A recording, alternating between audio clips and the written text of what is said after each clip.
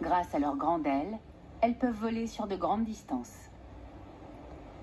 Les pignons ainsi dispersés à travers la forêt et ses environs contribuent à nourrir une multitude d'animaux, dont les léraux.